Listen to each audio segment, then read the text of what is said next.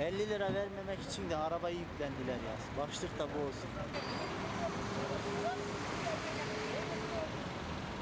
Nasıl